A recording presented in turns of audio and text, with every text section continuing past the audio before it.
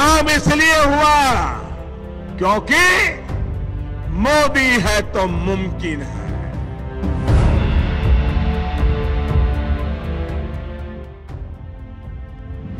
नमस्कार, मैं हूँ देवांजलि मोइत्रा। पूरे चुनाव भर चौकीदार चोर है का शोर मचाकर मोदी सरकार के खिलाफ अभियान चलाने वाली कांग्रेस के सुर अब बदलने लगे। चुनावी नतीजों के करीब तीन महीने बाद ही सही, कांग्रेस के दिग्गज नेता भी मानने लगे हैं कि मोदी सरकार ने अपने पहले कार्यकाल में वाकई कई ऐसी योजनाएँ चलाई हैं, जिसने गाँव गरीबों की ज़िंदगी में बदलाव लाने में बड़ी भूमिका निभाई।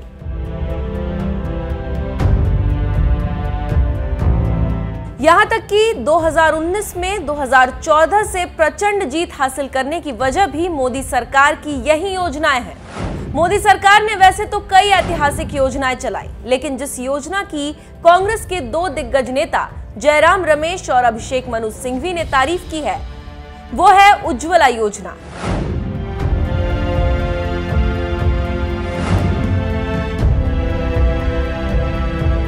कांग्रेसी दिग्गजों ने की उज्ज्वला की तारीफ़।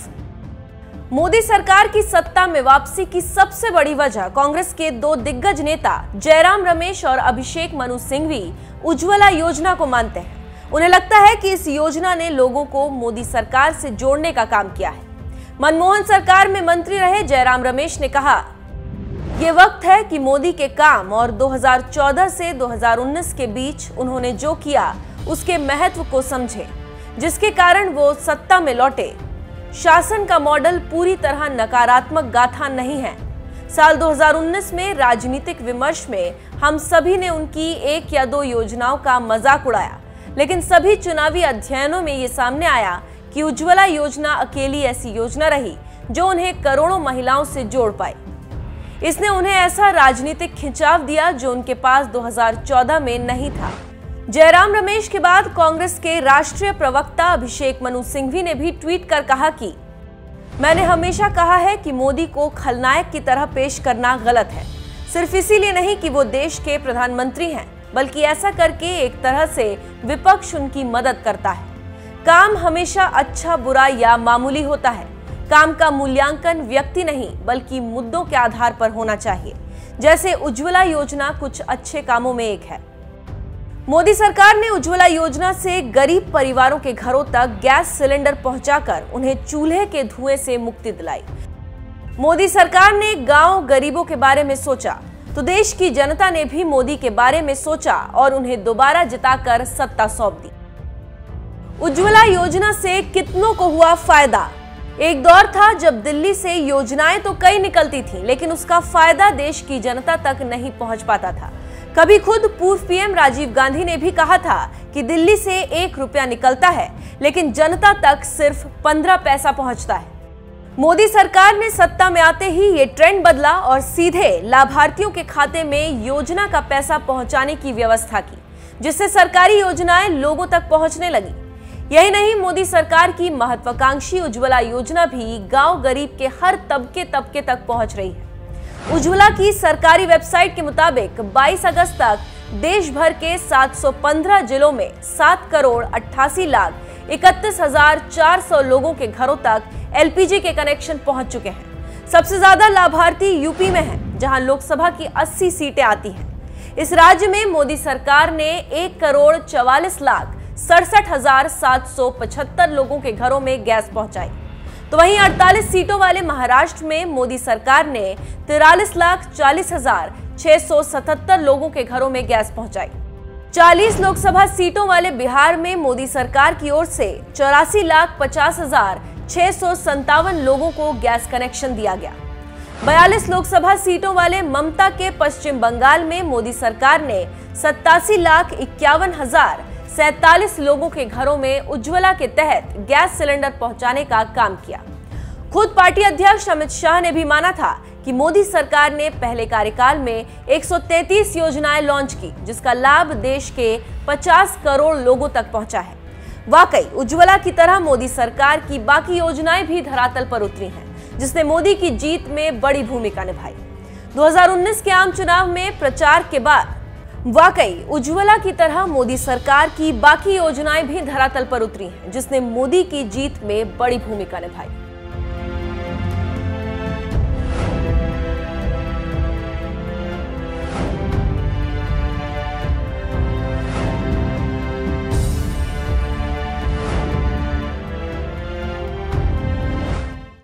हाँ अनंतनाग।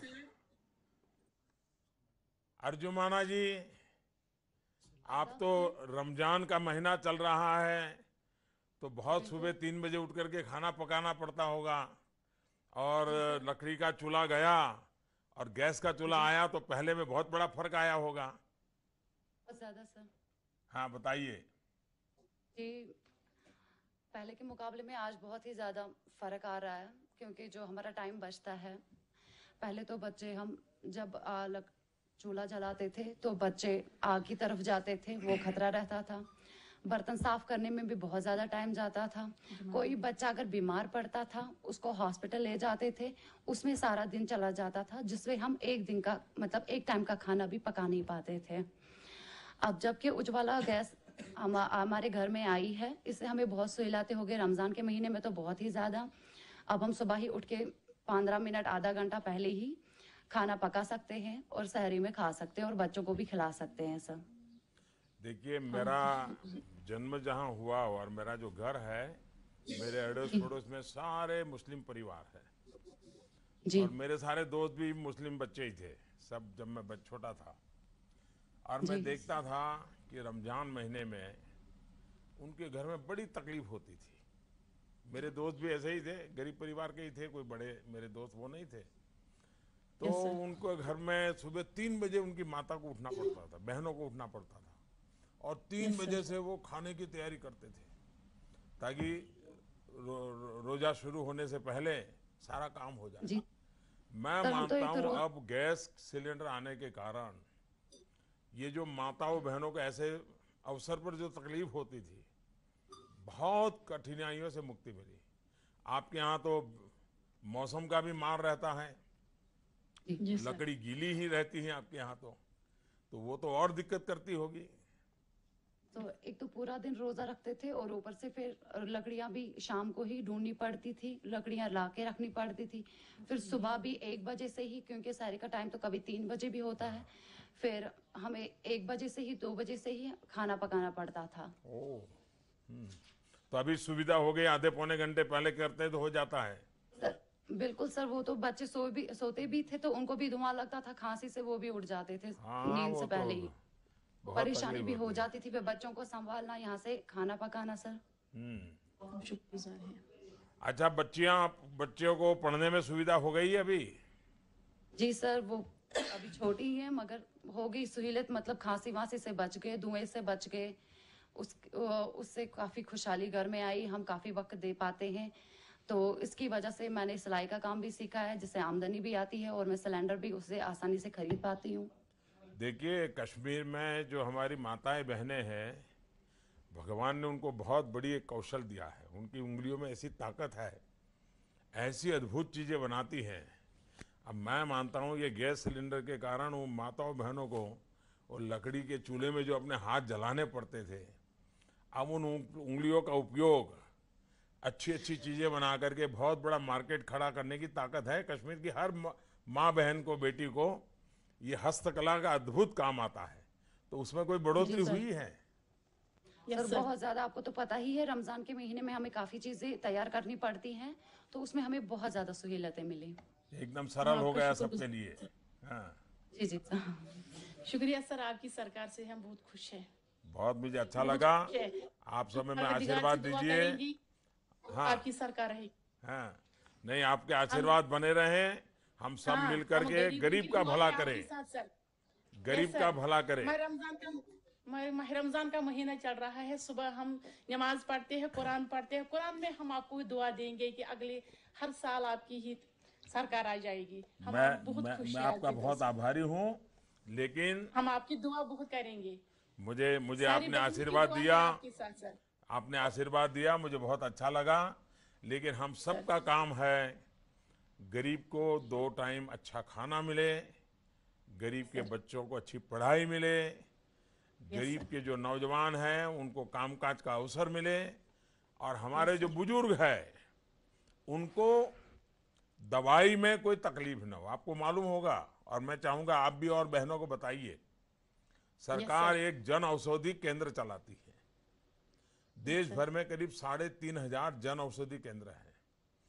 कुछ लोग हैं जो परमानेंट बीमार होते हैं जैसे डायबिटिक पेशेंट है या ब्लड प्रेशर का पेशेंट है उसको तो रोज दवाइयाँ लेनी पड़ती है। जिसका सौ रुपये दवाई का बिल होता था जन औषधि केंद्र में ऐसी ही उत्तम दवाई मिलती है और 20-25 रुपए में मिल जाती है। इतना बड़ा फ़ायदा होता है तो आपके अगल बगल में कोई भी बीमार रहते हैं तो उनको ज़रूर बताइए कि सरकार ने जन औषधि केंद्र खोले हैं। दवाई वहीं से ले ताकि उनका साठ सत्तर सौ रुपया बच जाएगा सौ रुपये में। और जो हर रोज जिनको दवाई लेनी पड़ती है ऐसे को तो बहुत आशीर्वाद मिलेंगे। तो ये काम आप ज़रूर कीजिए। और मैं मानता हूँ कि आप इतने जागरूक हैं इतना आपको सारी चीज़ों का पता है और आप गरीब का भला चाहते हैं तो मेरे लिए खुशी की बात है। तो मैं आपका बहुत बहुत आभारी हूँ। आपने आशीर्वाद दिए। हाँ हम सर उम्मीद है कि आगे भी आप ऐसी ही कुछ सुविधाएँ हम गरीबों के लिए लाएँगे ज़रूर आप बताते रहिए हम करते रहेंगे।